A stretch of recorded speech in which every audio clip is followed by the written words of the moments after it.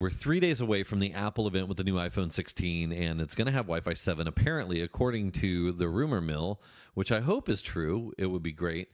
But there's this rumor that it's going to drive a handset upgrade super cycle. And what does that mean? That means that people are going to look at this and from 13s, 14s, and 15s, they're all going to go, you know what? Now's the time. Now's the time to make a big upgrade and just jump onto the iPhone 16. And I think it would be fantastic because if it does include Wi-Fi 7 that would usher in a whole new level of not just connectivity I'm thinking about it from the from our side the nerd side of the people that have to actually operate these networks. If we have more people running Wi-Fi 7 man that would make um, that would make the networks able to be operated a little bit easier a little bit less contention a little bit of slicing happening, a little bit of you know resource unit allocation.